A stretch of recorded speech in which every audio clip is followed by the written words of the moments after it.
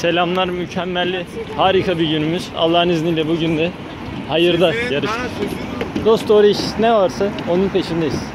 Yüce Allah bizlerden ne istiyorsa onları yapmaya çalışıyoruz. Bu dünyanın geçici hiçbir hevesi, oyunu bizim önümüze gelemez.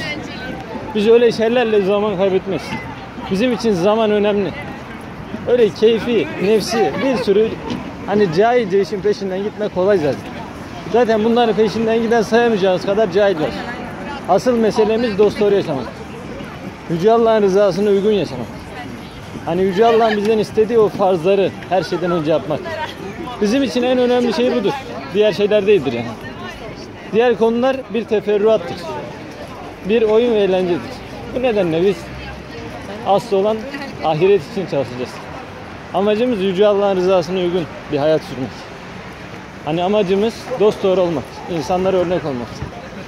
Doğru ne varsa onun izindeyiz. Yanlışın karşısındayız. Bu nedenle yani kimin ne yaptığı, neyle uğraştığı bizi ilgilendirmez. Doğrular bellidir.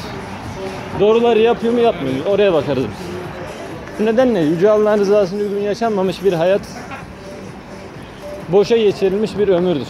Bu nedenle biz bazı konular düşünmemiz lazım. Öyle basit işlerle uğraşacağımıza biraz da Yüce Allah'ın rızasına uygun yaşamamız lazım. Yani böyle gereksiz işlerle uğraşmayın. Hani gençken sanki hesap vermeyeceksin. Öyle bir yaşa ki Nereye geçiyoruz? Nereye geçiyoruz? yurda. Yurt kaydını da göster bana.